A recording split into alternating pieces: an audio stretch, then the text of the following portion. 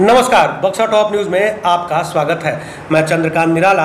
आज आपको बताऊँगा कि किस प्रकार बक्सा टॉप न्यूज़ चुनावी ज़मीन को देखने और समझने के लिए तथा आपके सामने उस ज़मीन की सच्ची तस्वीर रखने के लिए प्रयासरत है। चुनाव की रणभेरी बच चुकी है। विधानसभा चुनाव में तमाम तरह की बातें, तमाम तरह के दावे लोगों के द्वारा किए जा रहे हैं। लेकिन दावों की सही हकीकत क्या है, जमीनी हकीकत क्या है, इसे देखने के लिए बक्सा टॉप न्यूज़ लगातार क्षेत्रों का भ्रमण कर रहा है, लगातार लोगों से बातचीत कर रहा है। कई नेता, कई वरिष्ठ पत्रकार भी हमारे साथ इस कार्यक्रम में जुड़ रहे हैं, जिसमें वो बता रहे हैं कि वाकई ज़मीनी हकीकत क्या है, विकास की, विकास के दावे खोखले हैं या विकास हुआ है? और अगर हुआ है तो फिर जनता का क्या मूड है, क्या मिजाज है? इन सभी विषयों को लेकर हमारे राजनीतिक संपादक डॉक्टर शशांक शेखर लगातार आपके बीच अलग अलग नेताओं के इंटरव्यू लेकर आ रहे हैं। आइए चलते हैं स्टूडियो में और देखते हैं डॉक्टर शशांक शेखर और राजनीतिक हस्ती की बातचीत। नमस्कार, मैं doctor Shashank Shekhar. Top news के नियमित कार्यक्रम, बात विवाद के तहत आज फिर अपने स्टूडियो में एक नए मेहमान को लेकर आए हूँ। ये नए मेहमान को आप सब जानते हैं। ये दलित, शोषित और पीड़ितों की आवाज़ बनकर ज़िले में लगातार पिछले 20 वर्षों से संघर्ष कर रहे हैं। ये भंगियों के मैला ढोने के खिलाफ भी अपनी आवाज़ बुलंद करके और ज़िले को में एक नई क्रांति का संचार किए थे। और ऐसे में विधानसभा चुनाव का आगाज़ हो चुका है। सारे दल के नेता प्रत्याशी अपने अपने इलाके में घूम रहे हैं। और हमारे इलाके में सुरक्षित इलाका है राजपुर का, जहाँ से सुबह के परिवहन मंत्री चुनाव मैदान में आज तीसरी बार भागी जमाएँगे चूँकि इलाका सुरक्षित है और सुरक्षित वर्ग से ही वहाँ कैंडिडेट दिए जाएँगे। और ये भी खुद वो अपने लिए चुनावी मैदान में ताल ठोकने का दावा कर रहे हैं। आज हम इनसे जानना चाहेंगे कि बक्सर ज़िले में का वो राजपुर इलाका, जहाँ कभी दलित राजनीति के केंद्र बिंदु के तहत उनका रिजर्वेशन दिया गया तो कितने विकास दलितों का हुआ है या दलित संपर्क से आने वाले मंत्री का हुआ है? या सवर्णों की कितने सड़कें पुल पुलिया बन पाए हैं? या स्वर्ण कितने इस एनडीए सरकार के कार्यों से लाभान्वित हुए हैं? आइए इनसे इनकी जानेंगे, विभाग रहा संतोष जी, आपका मेरे स्टूडियो में स्वागत आपको भी, आपके पूरे परिवार की तरफ़ से टॉप न्यूज़ को मेरा संतोष भारती की तरफ़ से स्वागत है। आप सबों का बहुत बहुत धन्यवाद कि आपने समय दिया। आपको लिए बहुत बहुत धन्यवाद इसके लिए। कुछ मेरे विभाग सवाल हैं। आप जानते हैं कि विधानसभा का चुनाव की घोषणा हो गई है और लगातार पार्टी दल के लोग अपने काम करते हैं। ऐसे में बक्सर ज़िले पर आपकी खास पकड़ रही है। राजपुर इलाका सुरक्षित इलाका माना जाता है और उस इलाके में भी हमारे जो नुमाइंदे हैं सुरक्षित एरिया से जनता दल यू के प्रत्याशी रहे हैं और सूबे के परिवहन मंत्री। क्या सीनेरियो है इस बार उनके चुनाव में और कितने विकास के पैमाने वहाँ तय किए गए? देखिए मैं राजपुर विधानसभा के 40 पंचायत को मैं व्यक्तिगत चालीसों पंचायत घूम चुका हूँ। छोटे बड़े 112 टोला और कम से कम अस्सी बयासी बूथ, दो सौ अस्सी बयासी बूथ में घूम चुका हूँ। मैं कहीं भी जा रहा हूँ तो जितना दावा कर रहे हैं ये संतोष कुमार निराला जी कि मैं ये किया ये किया ये किया, मैं ज़मीन पे कुछ नहीं दिखाई दे रहा है। हाँ इधर करीब करीब पंद्रह बीस दिनों में एक ट्रेंड चला है उद्घाटन करने का, शिलान्यास करने का, यह दिखावा है। जिस रोड को मैं दावे के साथ कर रहा हूँ, जिस रोड का वो उद्घाटन कर रहे हैं, उस रोड पे कालीकरण नहीं हुआ है। रोड का परिभाषा क्या होता है? परिवहन मंत्री जी बता दें रोड का परिभाषा। रोड का परिभाषा कि जब पूर्ण रूप से बन जाए, तब उसको उद्घाटन किया जाए। ये तो चुनाव के लिए तनातन तनातन तनातन कर रहे हैं और ये कुछ काम नहीं किए हैं। जहाँ तक सवाल है आपको राजपुर का तो राजपुर के मैं 20 से 25 गाँव ऐसा गिनाऊँगा जहाँ पैदल भी नहीं चल सकते हैं। मैं एक गाँव का उदाहरण देना चाहता हूँ। मनोहरपुर गाँव है, जो हमारे ब्राह्मण बहुल मतलब कि लोगों का संख्या है। वहाँ दलित भी है, लोग अति पिछड़ा के लोग हैं। लेकिन वहाँ दस साल ये विधायक रहे, पाँच साल विधायक, पाँच साल मंत्री, वहाँ एक पुल नहीं दे पाए। मुझे तो लग रहा है कि ये वहाँ के लोगों से नफरत करते हैं। ये संतोष कुमार निराला वहाँ के लोगों से नफरत करते हैं, वहाँ के सर्व वोटरों से नफरत करते हैं, ताकि उनको इसी कारण वो वहाँ पुल नहीं दे पाए हैं। अच्छा आपने ये कहा कि आ, कोई नेता इलाके के वोटरों से नफरत नहीं करता है विकास का अपना पैमाना हो सकता है। अब आपसे ये भी जानना चाहते हैं कि कभी संतोष कुमार निराला कभी फर्श पर रहा करते थे और उन्हें गाँव गिराव और कभी मोटरसाइकिल पर चला करते थे उन्हें अच्छा लगता था लेकिन जब से सत्ता और सरकार के में वो मैंने पहुँचे हैं तब से कितना दलितों के प्रति प्रेम है और क्या आगाज़ उनका है और दलित कितना ये विकसित हुए हैं? देखिए, जब संविधान बाबा साहब हमारे बना रहे थे तो उन्होंने आरक्षण के तहत कुछ सीट को चिन्हित किया था कि यहाँ से दलित वर्ग के ही लोग लड़ेंगे। उनका यही सपना था कि जब मेरा प्रत्याशी होगा, मेरा जब उम्मीदवार होगा तो हमारे समाज के लोगों का विकास होगा। लेकिन शायद बाबा साहब का सपना यहाँ अधूरा नहीं, पूरा टूटते हुए दिखाई दे रहा है।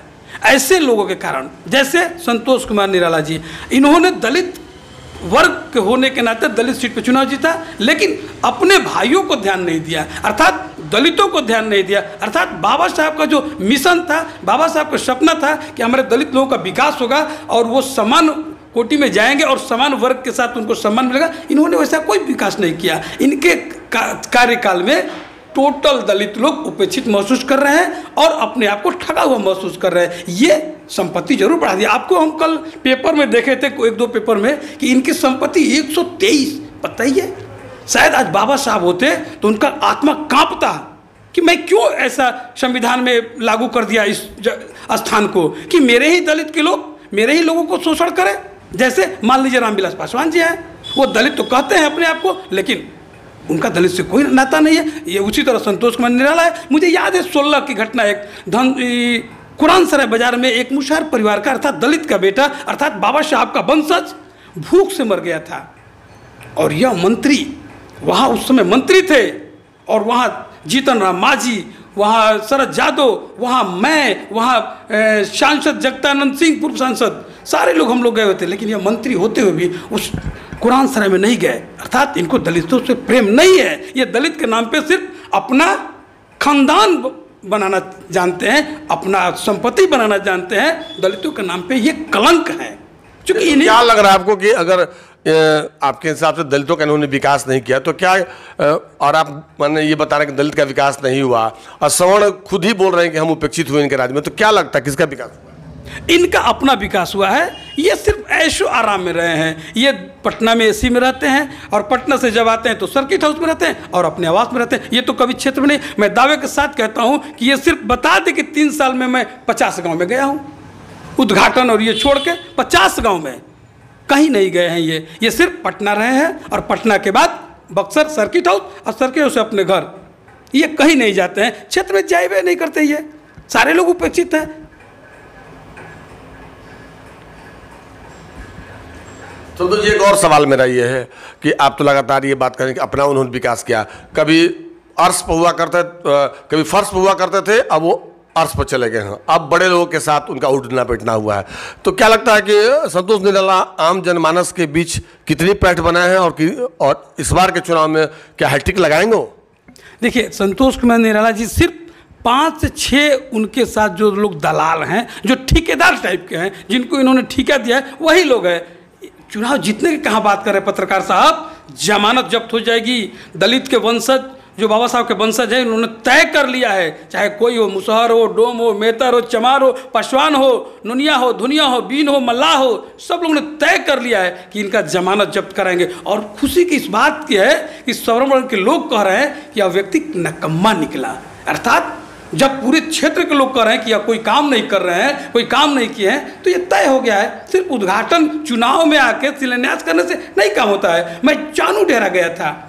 वहाँ के लोगों ने कहा कि जब मंत्री जी वोट मांगने आए थे तो तय किए थे कि हमारे बगल में पुल बनवा देंगे और पुल नहीं बनने के कारण हम लोग नौ किलोमीटर धनसोई जाते हैं घूम के और इटाढ़ी जाने के लिए सात किलोमीटर। बताइए, जहाँ एक व्यक्ति घोषणा कर दिए, मैं गया था, आपको एक राजपुर गाँव में अंबेडकर साहब का और हमारे रविदास बाबा के मंदिर है। वहाँ के रविदास बाबा के मंदिर में इन्होंने कहा था कि मैं इसमें टाइल्स लगवा दूँगा। वहाँ के जब पुजारी कहा कि, बाबा, भैया, हम क्या बताएँ? व्यक्ति कह के नहीं लगाया है। तो ये घोषणा तो लाखों की है, लेकिन अपने घोषणा पे, अपने वादे पे एक इंच ये पूरा नहीं हुआ है। ये एक इंच काम नहीं किए है, कोई काम नहीं किए। रोड के सवाल कह रहे हैं आप? रोड के सवाल चलिए।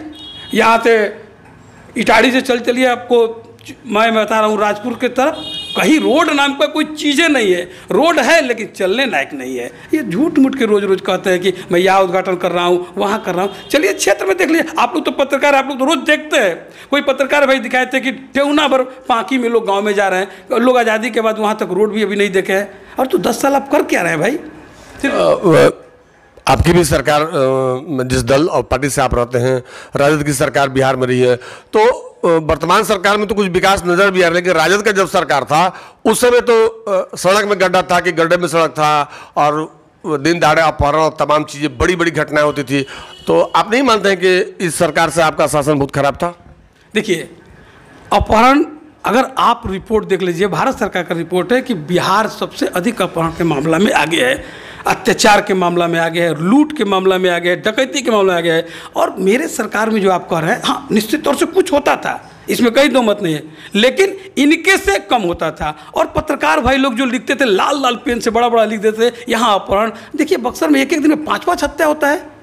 एक एक दिन में छः छः हत्या होता है एक एक दिन में चार चार लूट होता है। अभी डुमराव में हुआ तो वहाँ हुआ तो वहाँ हुआ। सारे व्यवसायियों के यहाँ लूट हो रहा है। लेकिन ये सरकार जो है, सिर्फ़ कहती है, इनके राज्य में हमारे सरकार से अधिक है। और रोड के बाद जहाँ तक कर रहे हैं, हमारे सरकार चार में चली गई। हम चार में लोकसभा चुनाव जीते और हम पाँच में विधानसभा हार गए। और हमारे जब मंत्री, दर्जनों मंत्री जब केंद्र में रहे तो हमने बोरा का रुपया यहाँ भेजवाया था। वही विकास, वही पैसा आज विकास हो रहा है, वही रोड चल रहा है। हम एक एक गाँव में स्कूल बनवाए थे, फातमी साहब हमारे मंत्री थे, मानव संसाधन मंत्री। हमारे रघुवंश बाबू जब मंत्री थे, ग्रामीण विकास मंत्री, उन्होंने इतना बोरा का रुपया दिया, वही पैसा आज तक चल रहा था। ये क्या किए हैं? एक काम नहीं किए हैं। ये कह रहे बिजली पूरे हिंदुस्तान में सबसे महँगा बिजली अगर कहीं है तो बिहार में है। बता दें मुख्यमंत्री जी, क्यों है महँगा?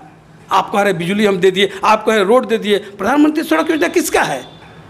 यूपीए टू का योजना है। और वही रघुवंश बाबू पैसा दिए थे और फ्री दिए थे। पहले पैसा आता था तो पचहत्तर परसेंट भारत सरकार और पच्चीस परसेंट बिहार सरकार। और जब हमारी सरकार जब पाँच में जब हम केंद्र में मंत्री सभा लोग बने तो इतना पैसा दिए फ्री। ये पैसा ले जाओ बोरा आप लोग लिखे थे कि झोला लेकर गए थे बोरा लेकर रुपया आए थे।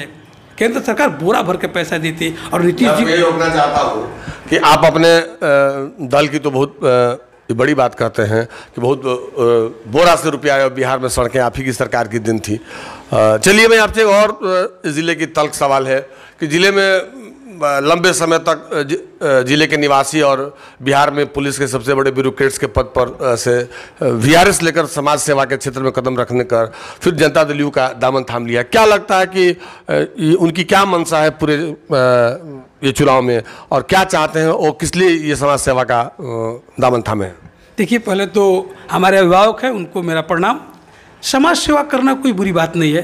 बाबा साहब ने संविधान में क्या कहा था? कहा था कोई व्यक्ति चाहे भंगी हो चाहे राजा हो वो भारत में चुनाव लड़ सकता है। उसके लिए कोई क्वालिफिकेशन की आवश्यकता नहीं है। आप आई एस हो डीजीपी हो आईपीएस हो कुछ मतलब नहीं है। आप चाहते हैं कि मैं चुनाव लड़ूं भारत में आज़ाद मुल्क में तो आप उसके हकदार हैं। उम्र उसका है 18 से 22 का। वो आप तो हमारे डी साहब लड़ रहे हैं लड़े चुनाव।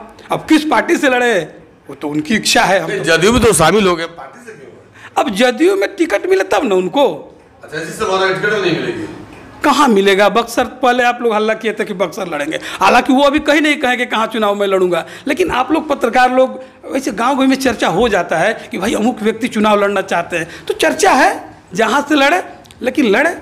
लेकिन इतिहास भी रहा है, जो कार्यकर्ता झोला लेकर दौड़ता है, जो मोटरसाइकिल पर दौड़ता है, जनता उसी को चाहती है। जनता उसी को चाहती है। हमारे तीन चार लोग चुनाव लड़ के परिणाम भी देख लिए हैं। आपने देखा, दलित समाज से आने वाले राजद के जाबाज सिपाही संतोष भारती ने कहा कि राजपुर इलाके में दलितों के वोट को लेकर उन्होंने सत्ता में तो पहुँच गए, न दलित का विकास हुआ और नहीं वहाँ के स्वर्ण मतदाताओं को भी अपना बना पाए। विकास किसका हुआ? तो खुद का। तो राजपुर इलाके के हमारे प्रतिनिधि और प्रदेश के परिवहन मंत्री संतोष कुमार निराला ने इस दस सालों में जनता का कम, अपना विकास खूब किया और इन्होंने ही कहा कि अगर अपना विकास कर लिया है तो बाबा साहब के सपनों को तार तार कर दिया है। अब देखना दिलचस्प होगा कि आने वाले चुनाव में जनता किसे अपना वोट देकर और उठ किस करोड़ बैठता है। टॉप न्यूज़ के लिए मैं डॉक्टर शशांक।